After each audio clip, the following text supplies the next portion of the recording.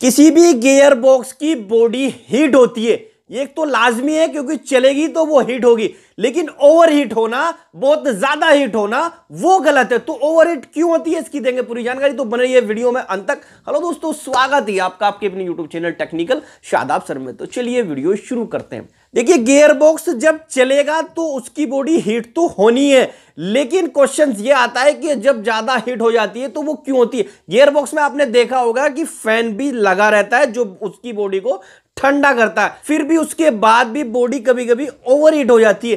तो इससे क्या होता है? इसका सबसे बड़ा रीजन मैं बताता हूँ ऑयल का। एक गूगल पे मैंने भी थोड़ा सा सर्च किया और ये देखा कि ऑयल का क्या इफ़ेक्ट पड़ता है। आप भी देखिएगा। इसमें लिखा है however the most frequent cause for gear boxes to over heat is the oil level oil level एक बहुत बड़ा कारण है गेयर बॉक्स के हीट होने का। तो इसमें दो कंडीशन आ जाती है। एक तो आती है too little oil may result in reduce delivery और no delivery to moving part oil जब कम होगा गियर बॉक्स के अंदर तो वो किसी भी मूविंग पार्ट बैरिंग में या गियर्स में हमारा ठीक से मूव नहीं हो पाएगा तो क्या होगा कि फ्रिक्शन बढ़ जाएगा ओवरहीट बॉडी होगी और पार्ट्स भी ओवरहीट हो जाएँगे। आगे इसमें देखेंगे which can cause high friction and heat इसके कारण हमारा हाई फ्रैक्शन एंड हीट आ जाता है बॉडी में। देखते हैं कन्वेंशनली यानी कि इसके विपरीत too much oil increase agitation by gears bearing and other moving part which can generate unwanted heat क्या मतलब है कि अगर ऑयल का लेवल ज़्यादा हो गया, जितना हमें उसमें डालना चाहिए, उससे ज़्यादा हो गया तो वो एक कारण बन जाता है बॉडी हीट करने का। अनवांटेड हीट यानी कि जिसको हमने चाहा नहीं हीट को, वो भी आ गई है बॉडी के अंदर उसकी गियर बॉक्स की। तो इसका क्या है कि बहुत सारे बंदे ये मानते हैं इंडस्ट्री में कि बार बार ऑयल रिफिल ना करना पड़े तो एक ही बार उसमें फुल फुल इतना कर दिया कि उसको ऊपर तक भर दिया। अब ऊपर तक जब भरेंगे तो वो ओवर हीट होना ही होना है। तो मेरे हिसाब से 70 परसेंट से ऊपर कभी भी, एक प्रैक्टिकली बात बता रहा हूँ, वैसे तो आपको जो उसमें लेवल गेज लगाया, उसमें देखना है।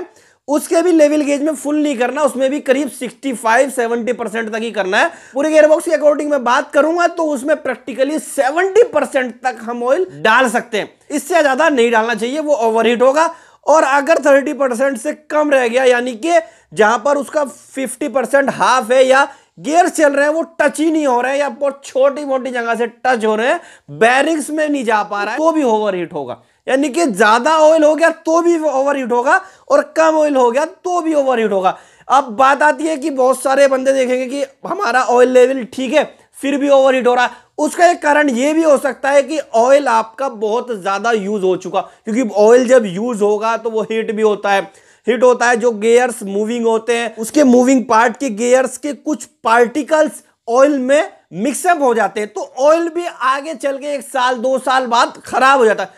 तो उसको क्या है चेंज भी करना चाहिए। समय समय के हिसाब से जब आप देखें कि ऑयल ये खराब हो गया। ऐसा नहीं कि ऑयल लेवल पूरा है तो आप ये भी कह सकते हैं बॉडी फिर भी हिट हो रही है तो ये भी चेक कर लेना कि ऑयल ठीक है कि नहीं। तो सबसे बड़ा कारण ऑयल का आता है। दूसरे रीजंस गियर खराब या बेरिंग खराब, वो तो आपको पता चल ही जाना है, लेकिन गियर बॉक्स अगर हमारा पूरी तरह ठीक है, फिर भी बॉडी ओवर हिट हो रही है तो उसका मेन कारण, उसका ऑयल लेवल है, उस पर ठीक से ध्यान देना चाहिए। तो ये थी कुछ मोटी मोटी सी बातें गेयरबॉक्स के बारे में। जानकारी थोड़ी भी अच्छी तो वीडियो को लाइक, चैनल को सब्सक्राइब और वीडियो को शेयर करना बिल्कुल ना भूले, क्योंकि नेक्स्ट वीडियो में नेक्स्ट मिलेंगे। तब तक के लिए